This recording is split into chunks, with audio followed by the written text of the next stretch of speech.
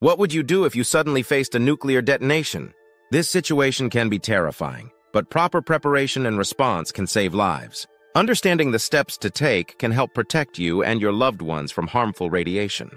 The first and most crucial step is to go inside immediately after a detonation and stay there. Seek shelter in the center of a building or go to a basement. This reduces your exposure to dangerous radioactive materials outside. In the first 10 minutes, be aware that fallout can arrive quickly.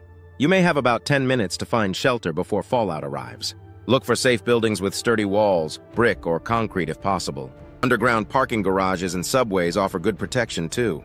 In the first 24 hours after the detonation, if you believe you've been exposed to fallout, be sure to remove your outer layers of clothing. Wash exposed skin, and if you have pets, keep them away from your sheltered area and clean them as well.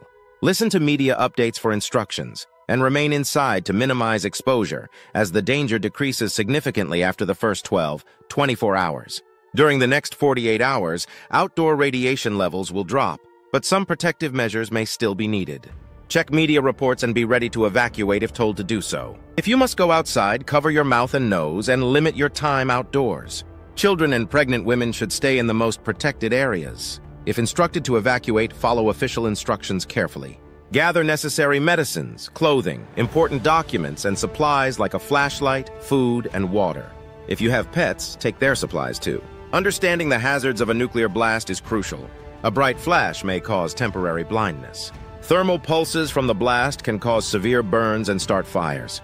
Farther away, the blast wave can damage buildings and create dangerous debris. Prepare for a nuclear detonation by identifying shelters at home and work. Stock your shelter with survival kits, first aid supplies, bottled water, long-lasting food, and spare clothes. In your vehicle, do not attempt to escape as traffic jams will likely occur. Instead, seek shelter or stay off the road. Being informed these steps can make all the difference in a nuclear emergency. Stay vigilant, be prepared, and protect yourself and your family from potential catastrophe. Take immediate action and share this vital information with others. Stay safe and remember, knowledge can be life-saving.